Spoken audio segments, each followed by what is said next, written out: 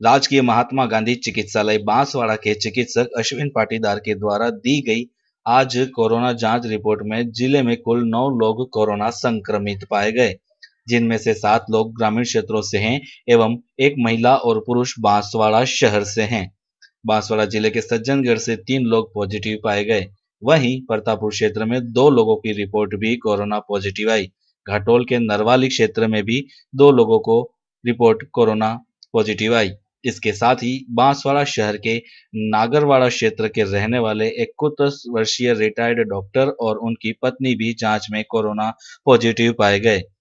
यह दोनों बुज़ुर्ग नागरवाड़ा के पूर्व में कोरोना संक्रमित मरीजों के रिश्तेदार हैं और पहले से भर्ती खांदू कॉलोनी निवासी एक कोरोना संक्रमित मरीज़ की फॉलोअप रिपोर्ट भी पॉजिटिव आई। Doctor Ashwin Patidar, doctor Jimesh Pandya, doctor Sameer Khan और उप नियंत्रक डॉक्टर वीरेंद्र चरपोटा द्वारा कॉन्टैक्ट हिस्ट्री एवं सैंपल लेने का कार्य किया जा रहा है।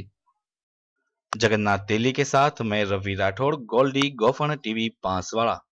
दर्शकों, हमें पूरा भरोसा है कि आप हमारे चैनल को सब्सक्राइब करके हमारा उत्साह बढ़ाएँगे और हम आप तक पहुंचाएँगे खबरों की दुनिया से जुड़ी सभी लेटेस्ट अपडेट।